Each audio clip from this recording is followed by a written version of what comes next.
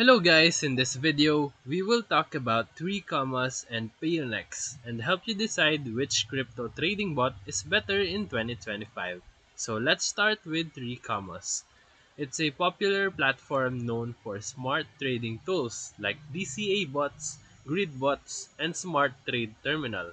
It connects to over 15 exchanges and gives users full control of custom bot behavior.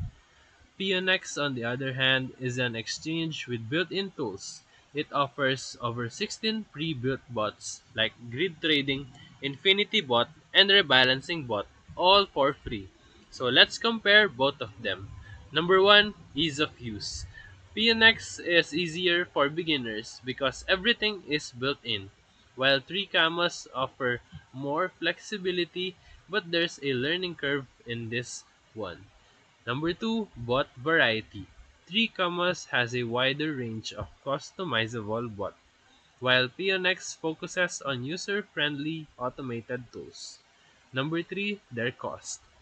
Pionex bots are free, while 3Commas has a free plan, but most features requires a monthly subscription starting at around $14.50. Number 4, exchange access.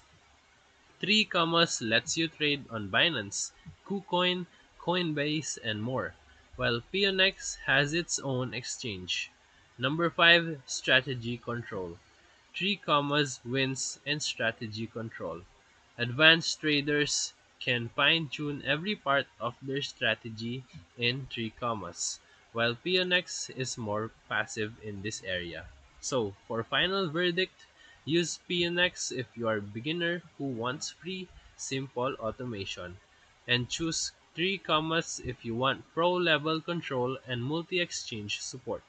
So if this video helped you, feel free to like and subscribe for more quick tutorials, reviews, and comparison videos. Thank you for watching.